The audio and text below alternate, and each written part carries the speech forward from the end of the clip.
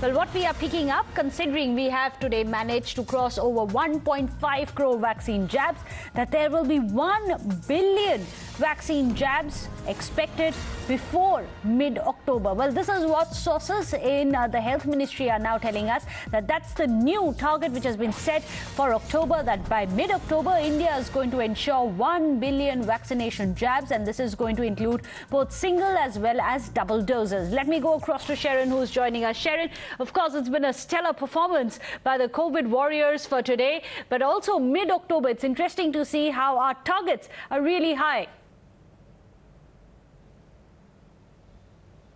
Well, that is right. And there is a reason why it is, in fact, uh, decided to be a mission to inoculate at least 100 crore by the mid-October is because of the festivities that are, in fact, lined up in the month starting from October itself. And also, uh, of course, third wave is something that is inevitable is what the experts have been saying. Keeping all this in mind, the government of India has, in fact, kept this as a mission to ensure that the production is ramped up and accordingly around uh, 100 crore people uh, should be be vaccinated. Right now, if you see, we have crossed the mark of 78 crore.